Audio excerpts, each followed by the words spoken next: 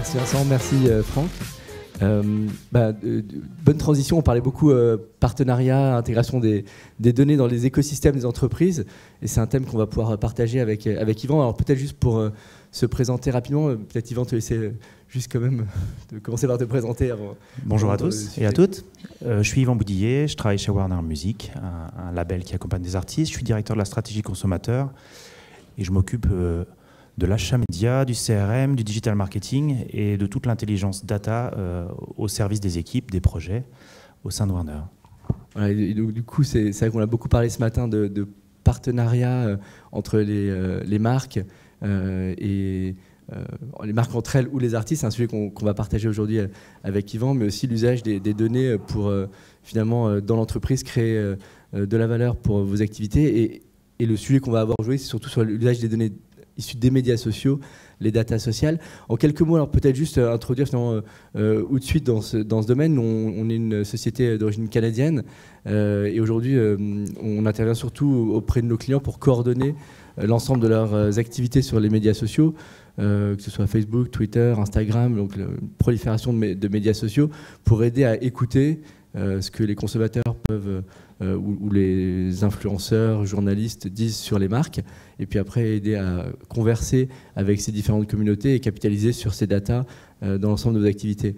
Alors j'en profite parce qu'en fait on a, ouvert un bureau à Paris après un an et demi et on recrute aujourd'hui, donc on a trois postes ouverts chez nous euh, si jamais des gens dans la salle sont intéressés à venir nous rencontrer derrière pour accompagner nos clients dans leur développement et également au niveau marketing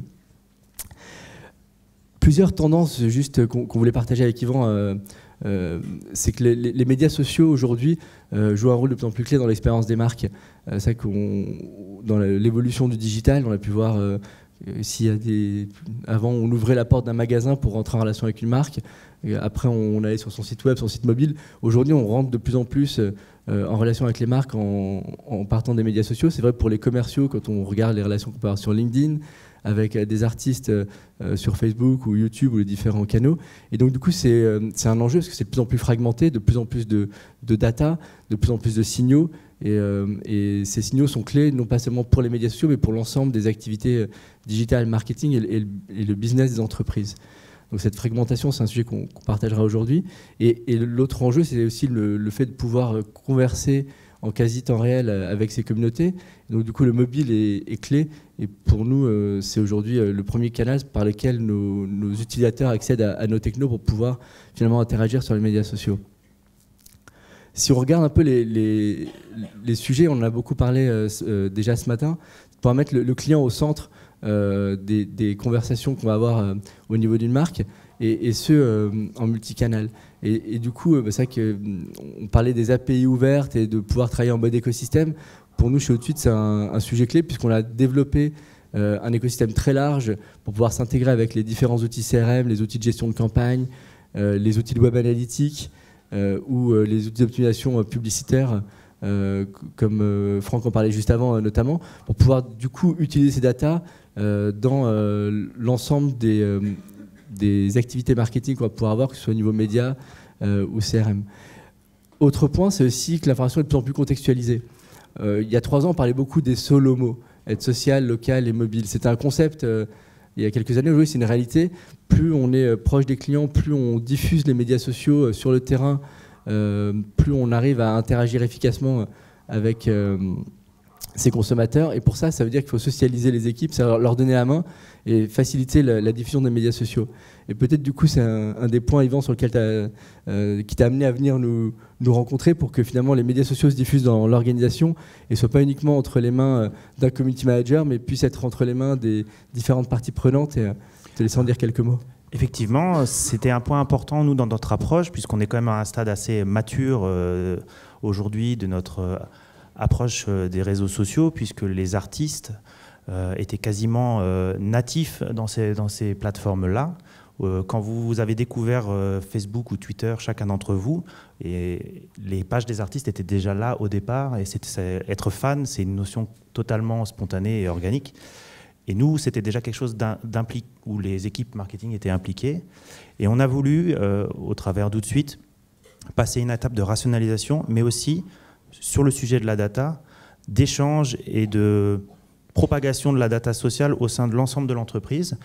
Un exemple très concret, nous avons plusieurs comptes euh, au sein de l'entreprise. Les comptes principaux sont rattachés à nos différents labels, qui sont nos équipes artistiques, marketing et promotionnelles.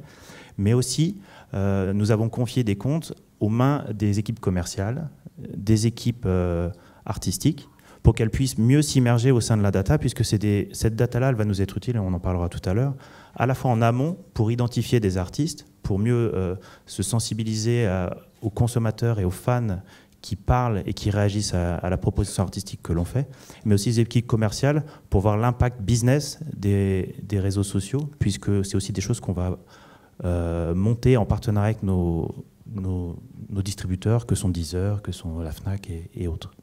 Donc du coup, cet enjeu de, pouvoir finalement diffuser euh, dans l'organisation, de pouvoir passer d'une logique un peu souvent qu'on a dans les entreprises expérimentales où chacun des départements peuvent commencer à développer des usages sur les médias sociaux, à travailler en, équipe de façon plus professionnelle et accélérer euh, la, conversion des équipes aux médias sociaux pour que ça les aide dans leur quotidien. donc du coup, chez toi, c'est aussi bien des chefs de projet ou des commerciaux qui accèdent finalement à, nos outils pour faciliter euh, euh, leurs usages au quotidien.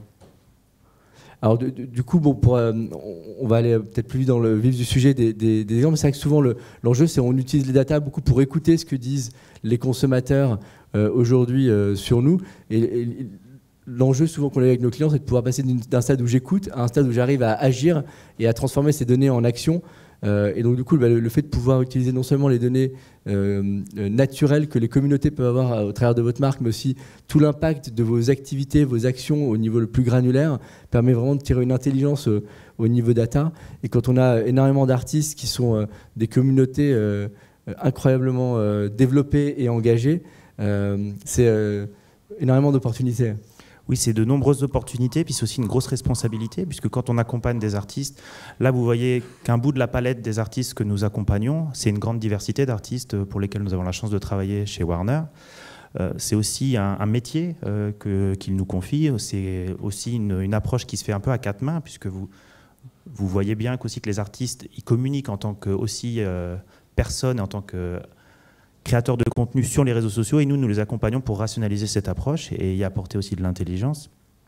Les opportunités, elles sont diverses. La première, en termes de conversion, euh, qui concerne le parcours client, qui est mon métier principal aujourd'hui au sein de Warner, c'est de travailler avec des, nouveaux, des nouvelles plateformes, notamment les plateformes de streaming, puisque le streaming est absolument euh, connexe et immergé et connecté avec l'expérience sociale.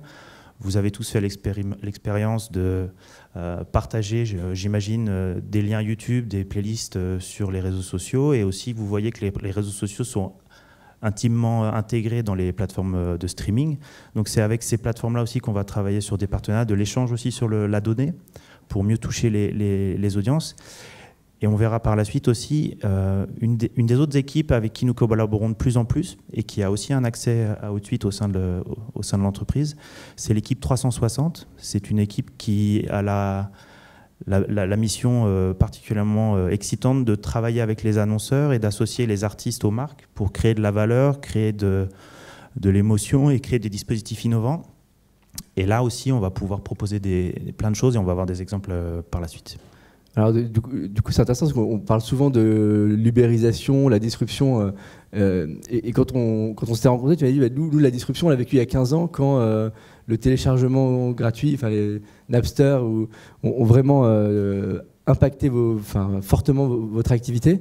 Et du coup, aujourd'hui, bah, c'est plutôt une phase de, création de valeur qui se fait par euh, les nouveaux canaux pour pouvoir diffuser la musique des artistes, mais aussi des nouveaux euh, leviers de croissance qui sont les partenariats, utiliser finalement les, euh, relations que les artistes peuvent avoir avec les marques pour générer de la valeur. Et donc du coup, c'est des datas qui sont clés. C'est les exemples qu'on peut partager finalement de, de, data qui vous aident dans vos décisions au quotidien. Oui, tout à fait. Donc c'est vrai qu'aujourd'hui, on va plutôt surfer sur la vague du numérique, nous, la musique, que la subir, ou en tout cas ce qui s'est passé il y a 15 ans on a su réagir, s'adapter, ça n'a pas été simple, mais aujourd'hui on est plutôt, euh, on essaie d'être à la pointe de ce qui se passe. De toute façon, on, y est un peu euh, forcé et ce qui est intéressant aujourd'hui avec l'approche qu'on peut rationaliser via des outils comme Outsuite euh, pour l'approche de notre data, c'est qu'à la fois on va pouvoir tirer des enseignements et des données clés pour notre activité cœur, qui est l'accompagnement et la monétisation des, artistes, l'exploitation de leur musique et aussi l'exploitation de leur, leur tournée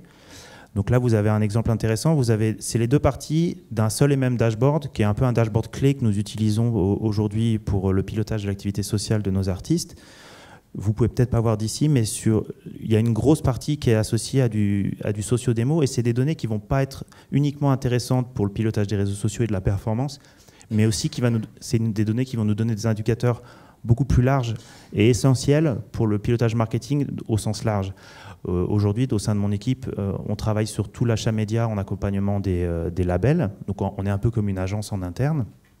Et ces données-là, qui sont vraiment le cœur de la base fan, le noyau dur des fans engagés, vont nous donner des, vrais indicateurs clés pour ensuite envisager les différentes prises de parole, le contenu, le pertinent, le solo mot étant quelque chose de daté, mais quels sont les canaux qu'on va aller adresser en fonction des cibles, mais aussi quand on va collaborer avec des marques, de pouvoir apporter, en plus de cette euh, capacité à, créer de l'émotion, à, créer de l'expression et à créer de l'engagement, on va pouvoir apporter aux marques des données vraiment tangibles sur la cible et les audiences clés qu'on va pouvoir aller toucher ensemble à partir euh, des messages de l'artiste. L'exemple qu'on partage sur la droite, on voit des exemples en fait, où on voit les impacts des campagnes que vous pouvez avoir sur un artiste au niveau social, mais aussi du coup ce que ça amène en termes de conversion de trafic sur le site web. Exactement. Donc intégrer les euh, données sociales dans l'écosystème. Vous pouvez voir euh, ici, en, bleu, c'est le, on a intégré Google Analytics pour euh, le tracking d'un site d'un artiste. Vous avez en dessous l'impact des campagnes, des posts sur les réseaux sociaux, sur Facebook, et au-dessus l'évolution des likes sur un artiste en particulier ça nous permet de vraiment mieux calibrer l'impact d'événements, un passage au grand journal, une émission de radio, ou à l'inverse, l'impact du social sur d'autres canaux et d'autres supports qu'on va piloter euh, conjointement. Et de toute façon, tout ça s'entremêle et aujourd'hui c'est un, grand mix dont on parlera aussi en, conclusion. De, tous les médias qu'on va essayer de piloter avec le social au cœur, puisque c'est la caisse de résonance principale aujourd'hui pour nous.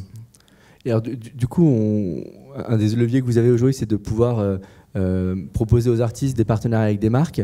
Le fait de pouvoir comprendre finalement quel, que, quel profil de leur communauté, leur euh, centre d'intérêt et les, les thématiques euh, clés pour eux vous ont permis d'avoir aussi, enfin le fait que vos artistes soient les vraies stars sociales, leur proposer ces partenariats. comment ça se traduit aujourd'hui dans votre activité? Bah, Ça se traduit par un développement très fort. aujourd'hui, en gros, je suis de plus en plus euh, associé euh, et j'accompagne et j'essaie d'aider euh, l'équipe 360 qui développe ces partenariats-là pour apporter des données sociales, aussi des données issues de nos études, puisqu'on on développe des panels qui nous permettent aussi de donner des, données de segmentation sur les, les, profils de consommation média et de consommation musique. Et ce qui est très intéressant aujourd'hui, c'est que c'est vrai que quand on parle d'associations avec des influenceurs pour des marques, ou quand les marques parlent de brand content, etc., euh, on a souvent le réflexe dans les médias ou dans des discussions qu'on peut avoir euh, avec des futurs partenaires de penser à des, plutôt à des youtubeurs ou à des grands blogueurs ou à des, personnalités. La musique est, totalement euh, dans le viseur de toutes ces marques, mais plutôt comme un sujet sur l'émotion et autour du live, etc. Et ce qui est très intéressant, il me semblait intéressant qu'on puisse partager cette, cette étude qui a été publiée par NPA en début d'année qui en gros a été constitué à partir de, des données agrégées de plusieurs réseaux sociaux, si on considère YouTube aussi comme un réseau social. Donc ils avaient consolidé des données YouTube, Instagram, Facebook et Twitter, je crois. Et on voit ici que Tal et Scheim se positionnent en place numéro 2 et 3 des plus grands influenceuses sur le secteur de la beauté en termes de reach, en termes de résonance. Et nous, c'est quelque chose qui nous conforte dans notre approche parce que c'est quelque chose qu'on sent et qu'on sait, mais là on peut le prouver grâce à ces, grâce à ces datas aujourd'hui que les, euh, les, les, grandes figures de la musique euh, qu'on accompagne et aussi les artistes en développement qu'on a la chance d'accompagner sont aussi des, des, des, parfaits ambassadeurs pour des annonceurs avec des, grandes capacités à toucher un public large. Et, du coup, pour vous, les médias sociaux, c'est devenu une opportunité pour pouvoir monétiser euh, et créer de la valeur au niveau du, du, groupe, proposer des, dispositifs de partenariat. C'est vrai que Franck en parlait avant avec l'exemple de Jaguar. C'est une opportunité pour euh, les artistes de Warner. Absolument. on, travaille, on travaille avec le secteur automobile. Euh, il y a pas mal d'opérations récentes dont je, vous pourrez aller sur notre site pour les, pour les découvrir. Là, j'ai voulu euh, vous donner deux exemples qui sont assez représentatifs de ce qu'on est capable de faire. Autour de Tal, Tal, en termes de, de métriques, c'est assez incroyable. Elle est à plus de 225 millions de vues sur, sa, sur ses vidéos YouTube, elle a plus de 400 000 abonnés sur sa chaîne. Et aussi, fort de cette présence sur les réseaux sociaux, en plus de sa notoriété et de sa popularité, nous avons pu, en partenariat par exemple avec Casio, monter, euh, décliner autour de sa tournée euh, une série de programmes courts qui s'appelait Tal Inside. C'était des, programmes qui étaient faits euh, en coulisses et qui permettaient vraiment à la marque de s'associer à l'artiste de manière beaucoup plus intime, de rentrer vraiment au cœur de, la tournée et donc de toucher les fans différemment avec un message très concret et qui parlait aujourd'hui son instrument. Et pour Dim, c'est juste pour montrer que Tal, qui a été euh, ambassadrice et qui a aussi créé une ligne de, pour Dim, on a aussi utilisé du coup les réseaux sociaux. Par exemple, Twitter, elle a 1 million 800 000, je pense, followers. On s'en est servi également avec l'artiste pour euh, donner de la résonance et aller toucher les fans de Tal pour leur parler de la marque. Et cette relation euh, croisée a beaucoup de sens et crée beaucoup de valeur pour nous et pour la marque. Euh, en tout cas, merci Yvan. Et je pense que intéressant d'avoir un peu la, en, synthèse les, 4 P du, marketing chez ah vous, qui sont un, point qui nous avait beaucoup marqué chez Outut quand on avait commencé à travailler, qui sont un peu innovants. Oui, c'est vrai que j'aime bien synthétiser notre approche, le nouveau mix euh, marketing, euh, les fameux 4 P. Mais nous, pour nous, ce sont la prescription qui devient le sujet numéro un avec euh, tout l'enjeu autour des playlists, de la recommandation par l'algorithme, mais aussi par les, curateurs et les influenceurs, de la personnalisation, la personnalisation des services, et là la data, le programmatique va aussi nous aider à aller euh, vers la personnalisation des messages publicitaires et la personnalisation des, services. Trois, la portabilité, mobile first, je ne m'étendrai pas là-dessus. Et quatre, ce qui est, c'est, symbolique aussi, c'est le partage. Le partage, euh, tu parlais en introduction de ce qu'on a vécu comme ubérisation ou comme disruption il y a 15 ans le partage de fichiers a été vécu comme une menace. Aujourd'hui, le partage de playlists, le partage de l'image et des messages de nos artistes est créateur de valeur et donc est une formidable opportunité pour l'avenir.